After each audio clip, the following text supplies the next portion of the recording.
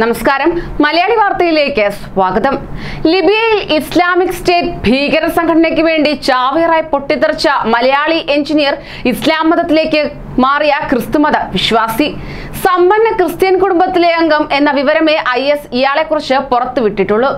ഇയാളുടെ കുടുംബത്തിൽ ഏറെയും ഡോക്ടർമാരാണ്. ഇയാൾ കുറെ കാലം ബംഗളൂരുവിൽ ജീവിച്ചിട്ടുണ്ട്. പിന്നീട് ഗൾഫിലേക്ക് പോയി. മധ്യ തിരുവിതാംകൂറിലെ ക്രിസ്ത്യൻ കുടുംബാംഗമാണെന്നാണ് ലഭ്യമാകുന്ന സൂചനകൾ. ഐ എസ് പുറത്തുവിട്ട ഇവരുടെ പ്രവർത്തന രേഖകളിലാണ് മലയാളിയായ ചാവേറിനെ കുറിച്ച് പറയുന്നത്.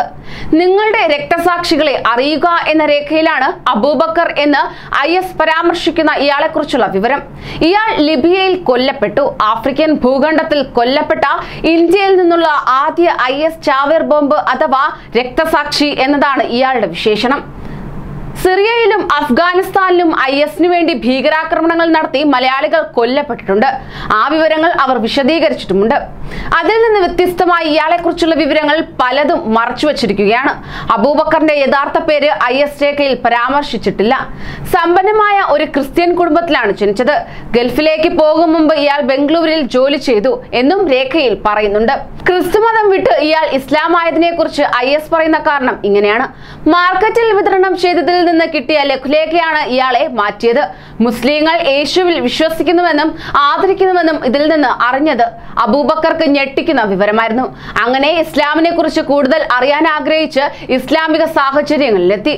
അമേരിക്കക്കാരനായ ഇസ്ലാമിക തീപ്പൊരി പ്രാസംഗികൻ അൻവർ അൽ ഔലാഖി അബുവിനെ തീവ്ര ഇസ്ലാമികനാക്കി ഐ എസിലെത്തിച്ചു. അബു ഐ എസിൽ ചേർന്ന് മറ്റ് ചില മലയാളികളെ പോലെ അവിടത്തുകാരനാകാൻ ആഗ്രഹിച്ചുവെങ്കിലും ഗൾഫിലെ തൊഴിൽ കരാർ കാലം കഴിഞ്ഞതിനാൽ ഇന്ത്യയിലേക്ക് മടങ്ങേണ്ട സാഹചര്യം വന്നു. ഐ എസ് അയാളോട് ലിബിയയിലേക്ക് പോകാൻ പറഞ്ഞു.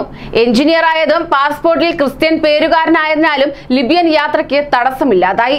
അവിടെ എത്തി മൂന്ന് മാസത്തിനകം ഇയാൾ ഭീകരപ്രവർത്തനാക്രമണത്തിൽ കൊല്ലപ്പെട്ടു.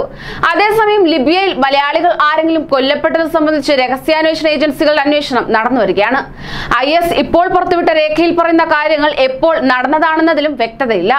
സിറിയയിലെയും അഫ്ഗാനിസ്ഥാനിലെയും കേന്ദ്രങ്ങളെ ശക്തി ക്ഷയിച്ചതിനാൽ ഐ എസ് തങ്ങളുടെ പ്രവർത്തനങ്ങൾ ആഫ്രിക്കയിലേക്ക് മാറ്റുമെന്ന് സുരക്ഷാകാര്യ വിദഗ്ധർ മുന്നറിയിപ്പ് നൽകിയിരുന്നു. ഐ എസ് എൽ ചേർന്ന നിരവധി കേരളീയർ സിറിയയിലേക്കും അഫ്ഗാനിസ്ഥാനിലേക്കും പോയിട്ടുണ്ടെങ്കിലും ലിബിയയുടെ പേര് ഉയർന്നു വരുന്നത് ആദ്യമായാണ്. രണ്ടായിരത്തി പതിനാലിൽ ലിബിയയിൽ പ്രവിശ്യ രൂപീകരിക്കുന്നത് ഐ എസ് പ്രഖ്യാപിച്ചിരുന്നു.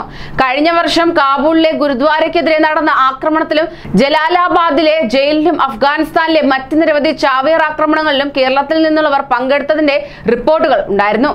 ന്യൂസ് ഡെസ്ക് മലയാളി വാർത്ത.